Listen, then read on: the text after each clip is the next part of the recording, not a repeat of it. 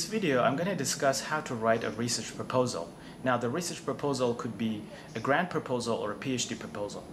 Uh, there are five points that I would like to discuss in this video, and I think the first three points refer to just research proposals for studying uh, your, your PhD or an MA, and the last two points specifically refer to uh, grant proposals. So the first point is uh, that you should show that you have a good background in the topic that you're investigating. To establish a good background, you need to draw on th uh, three factors. Your research, your previous teaching, and your services. You do this because you want to show that you're excited and you're personally very interested in the research topic.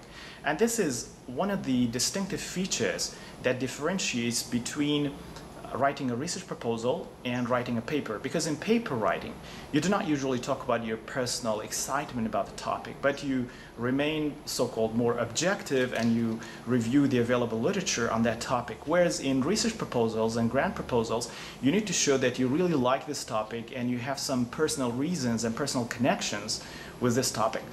Uh, so let's talk about uh, research, teaching, and service because these are three factors that can show to the reader of your proposal that uh, you have some links with this topic and it's not just some kind of fancy excitement that, that drives you. So number one is research.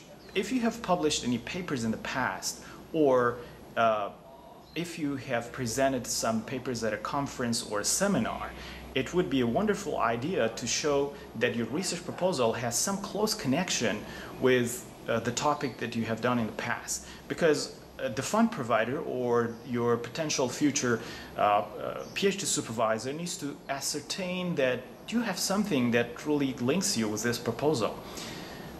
If you do not have much experience in doing research, it would be a good idea to draw upon your teaching experiences. If you are an English teacher who is interested to investigate vocabulary, try to discuss what, what makes you very much interested in terms of the teaching experiences that you have accumulated in your classrooms. I'll give an example. When I was writing my proposal for applying for PhD to the National Institute of Education here in Singapore, uh, my proposal was about uh, uh, the listening, listening processes of test takers um, on a high stakes test.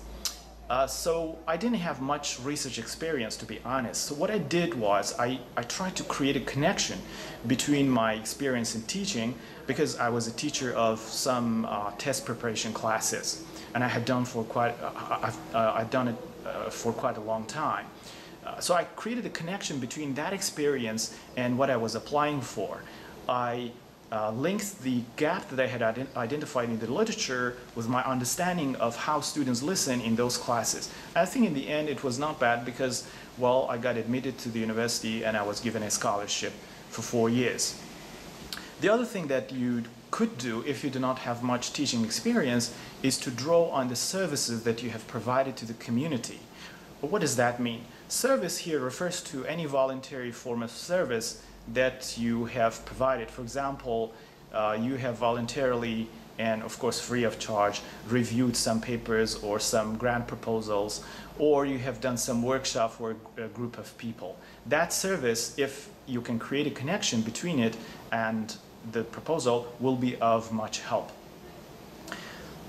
Two is, uh, most often in writing a research proposal or a grant proposal, the literature review should be short and sweet. It should be short, that's clear and concise, because uh, there's uh, most often a kind of word limit or page limit, uh, with, beyond which it's not suggested to you know, uh, drag your literature review on and on.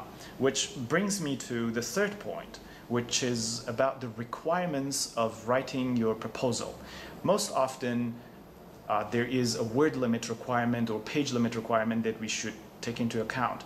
In addition, sometimes um, the topics that are supposed to be put into the proposal are already specified by, for example, the fund provider or by the university.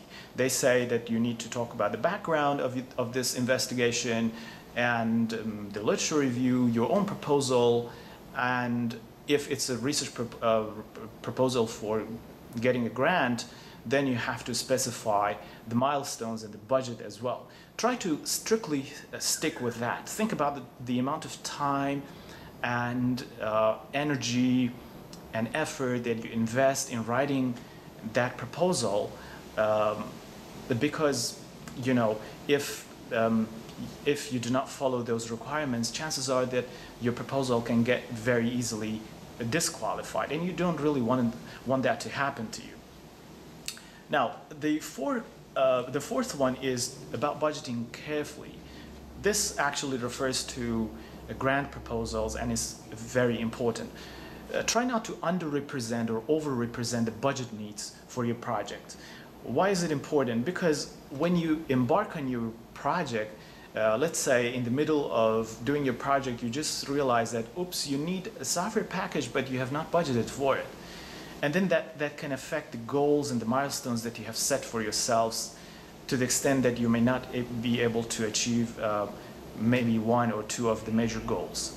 That's not really good because it will not leave a good record of you and the impression that it will give to your fund provider might not be very positive. Because in the future, if you apply to the same fund provider again, they might go back to the milestone, the, uh, uh, the, the, budgeting that you had uh, created before and um, you know, decide as to whether uh, you were able to budget carefully and whether um, you were able to, to uh, meet the requirements that uh, they were expecting you to meet. Which brings me to the fifth point. That's about defining your milestones very carefully.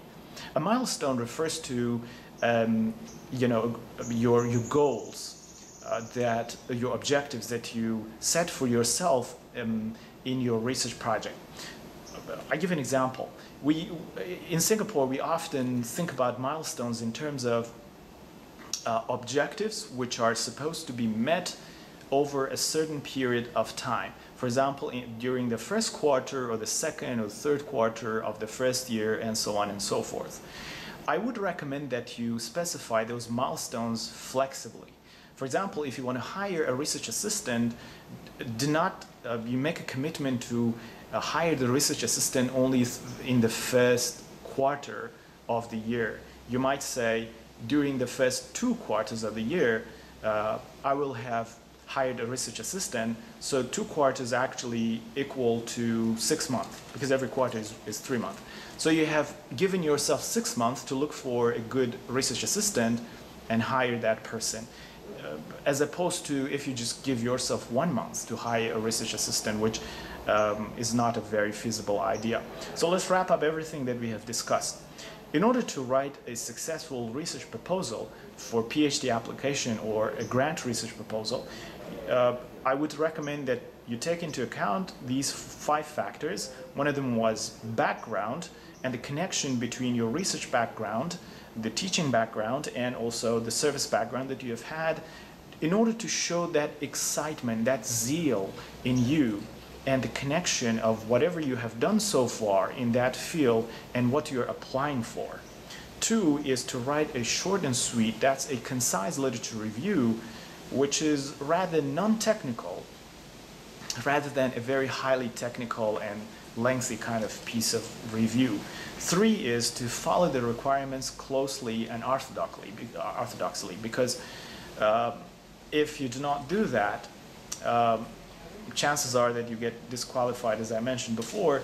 Number five is to budget carefully. Do not underrepresent or overrepresent your needs. If you need something, just budget for it, but also take into consideration the cap for which you can apply.